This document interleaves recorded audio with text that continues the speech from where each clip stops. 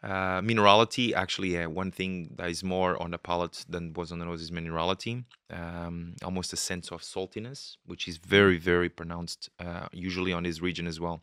As you are very close to the coast, you have this, you know, cool sea breezes from the Atlantic, uh, cooling down the region. So yeah, I think I think that's it really.